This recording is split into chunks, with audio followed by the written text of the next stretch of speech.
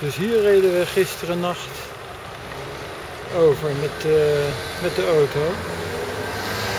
Het is echt ongelooflijk. Kruispunt eh, uh, Stadhouderslaan. Ik denk dat heel veel auto's hier zo hun eh, uh, voortrein uh, de mist in kan gaan. Dus gemeente, even aandacht hier aan de